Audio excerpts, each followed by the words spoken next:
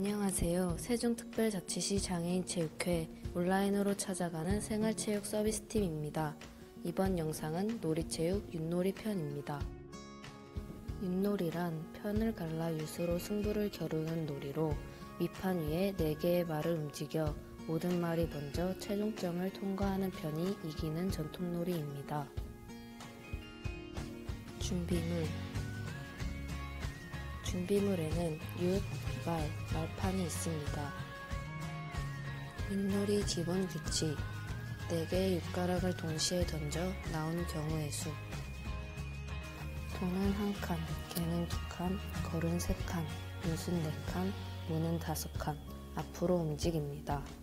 윷모가 나온 경우 상대의 말을 잡은 경우 한 번 더 던질 기회가 주어집니다. 잡기 말을 옮길 때 칸에 상대편 말이 있으면 그 말을 잡습니다. 잡힌 말은 처음부터 다시 출발해야 합니다. 업기 자기 편 말이 있는 곳에 말이 또 오게 되면 업어서 함께 이동할 수 있습니다. 주의사항 윷을 적당한 힘으로 던지기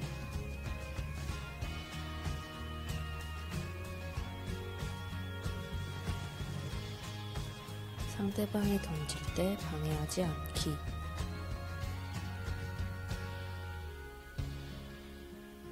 유세 방향이 판단하기 어려울 경우 해당 윷만 다시 던지기.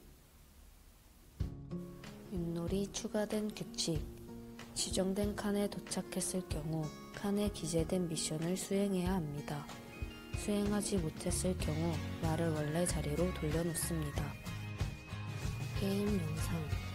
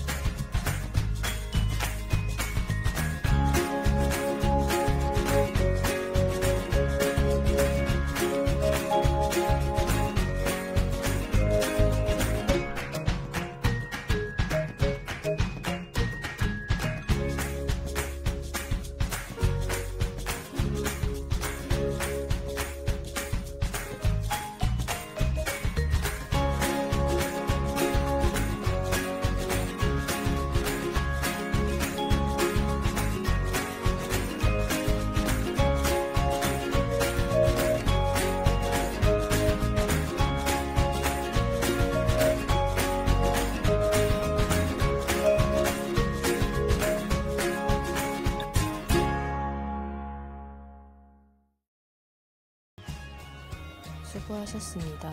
지금까지 시청해주신 세종시 장애인 체육가족 여러분, 사회적 거리두기, 마스크 착용 등에 유념하며 건강을 지키는 안전한 추석 연휴 되시기 바랍니다.